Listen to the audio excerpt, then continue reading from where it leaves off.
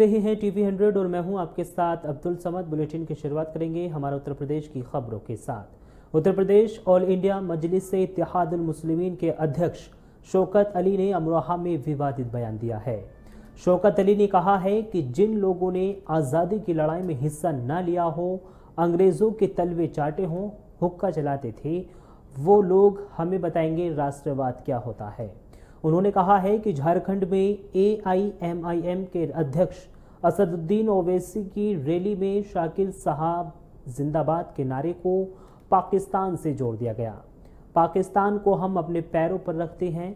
हिंदुस्तान जिंदाबाद था, जिंदाबाद है और जिंदाबाद रहेगा। शौकत अली ने आगे कहा कि बीजेपी वालों के कान में हर वक्त पाकिस्तान घुसता है। फर्रुखाबाद में भी ऐसा हुआ था। एनआरसी के धरने में काशिफ खान जिंदाबाद के नारे को पाकिस्तान जिंदाबाद का नारा बता दिया था।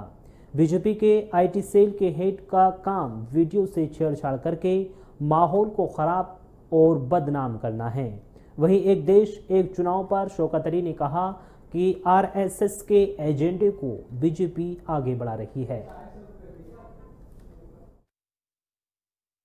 हमारा ये मीडिया है इसके कान में हरदम पाकिस्तान घुसता है। पाकिस्तान को हम कुछ नहीं समझते पाकिस्तान को अपने पैरों पे रखते हैं। हम क्यों लगाएँगे? हिंदुस्तान जिंदाबाद था है और रहेगा इंशाल्लाह ताला।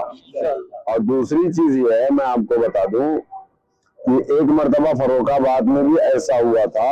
एक मरतबा हमारे ए, इसका सी एन आर सी के धरने में काशिफ खान जिंदाबाद के नारे लग रहे थे लखनऊ में। लोगों ने कहा कि पाकिस्तान अमित मालविया जो आईटी सेल का बीजेपी का हेड है, ये इनका काम ही है ये वीडियो पे छेड़छाड़ करके माहौल को खराब करना, बदनाम करना। अरे जिन लोगों ने आज़ादी की लड़ाई में हिस्सा ना लिया हो, जिन लोगों ने अंग्रेज़ों के तलवे चाटे हो तो लोग अंग्रेज़ों के हुक्का चलाते थे। आज वो लोग हमें बताएँगे राष्ट्रवाद क्या होता है। भाग्य टुगेद के राष्ट्रीय प्रवक्ता राकेश